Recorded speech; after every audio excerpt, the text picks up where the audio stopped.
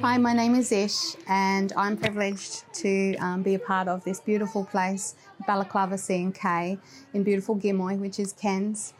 Uh, I moved here, this is my second year um, up in Cairns, and nothing could have prepared me for the beautiful community that I'm moving into, that I moved into, with such a rich cultural tapestry with so many threads from different cultures, magic. Our priority as a team was first to get to know each other, and then most importantly is to connect, make authentic connections with our children, with our families, and with our community. We believe that it takes a village to raise our children, and we hold our village accountable for that. This year, as a surprise to us, we were nominated for Reconciliation in Action. Um, that was really emotional, and it still is. We believe that um,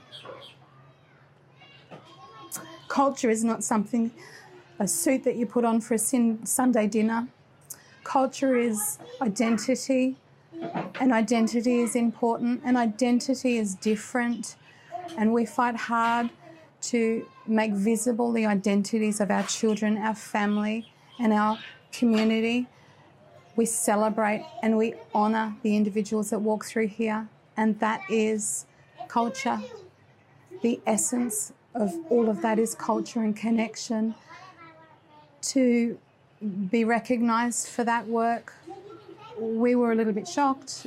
We were humbled by that because we believe that this is just a way that everybody should be. All children deserve this, all families deserve this, communities deserve this. And you know what? Educators and teachers deserve this because it's rewarding. And when we shine, all we are a reflection of our children, our families, and our communities.